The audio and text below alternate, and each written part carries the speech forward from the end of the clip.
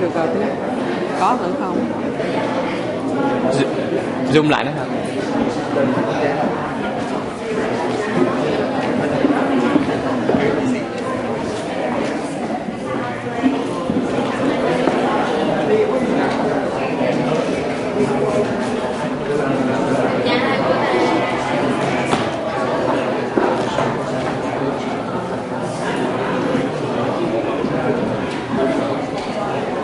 Franco.